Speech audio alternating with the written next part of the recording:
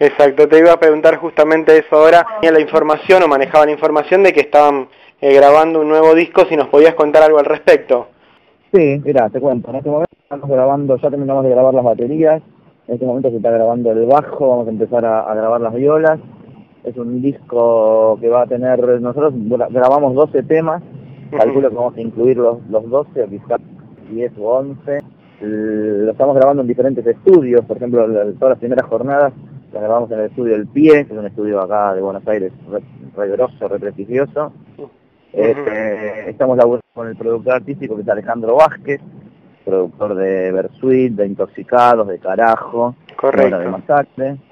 Y la verdad que estamos re contentos porque el disco lo venimos laburando, eh, grabando desde hace mucho demos y viendo, cambiando mucho las versiones, van cambiando desde que desde que el tema original se, se, gestó hasta hoy en día ya hay, eh, en este momento se están haciendo modificaciones.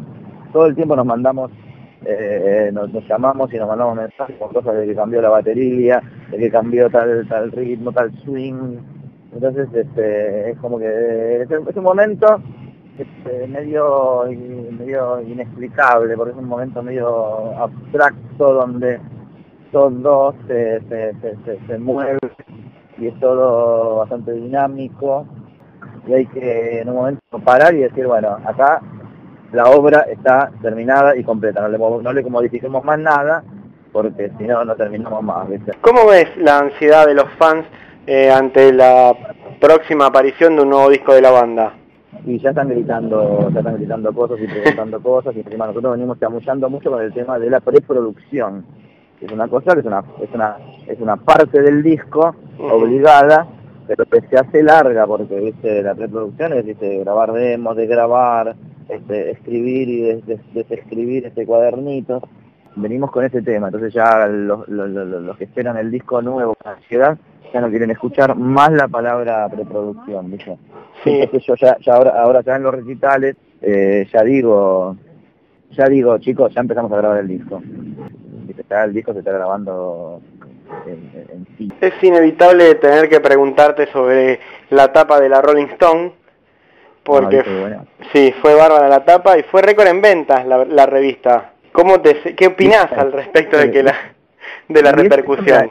Es rarísimo porque eh, primero el hecho de que haya sido récord de venta es un fenómeno social, porque vos pones un tipo que es conocido y querés eh, saber lo que dice eh, en la tapa una celebrity, caso de Lady Gaga o, el Indio Solari, dice que también fueron números que tuvieron récord de venta, y ya es, entendible.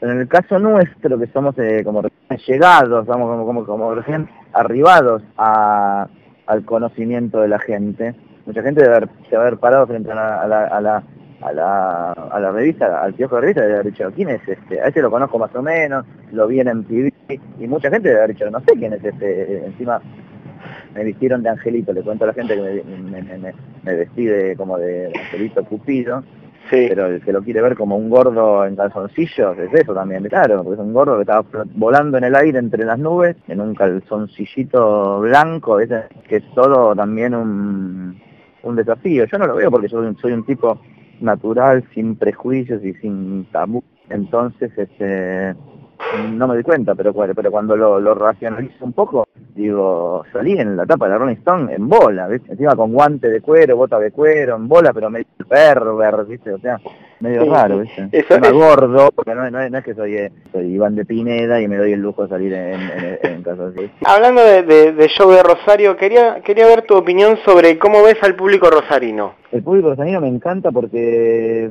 es crítico, tiene, es, es eh, contemplativo, es eh, es melómano, es entendido de música, me encanta cuando voy y veo remeras de... y me pongo cuando termino de tocar y salgo y veo las remeras que usan los que concurren a los recitales de rock y son, la verdad que son conocedores, son entendidos, son cool, la verdad que no, nos gusta. Es un desafío, fue un desafío, digamos, la primera vez que fuimos a tocar, a que, nos conozcan, ¿viste? Pero hoy en día ya tenemos un vínculo más estrecho y la verdad que nos, encanta, nos encanta cómo son a nivel idiosincrasia, a nivel sociocultural, a nivel cultural. La verdad que es una ciudad que nos encanta ir, ver, visitar un rato a la tarde y después tocar.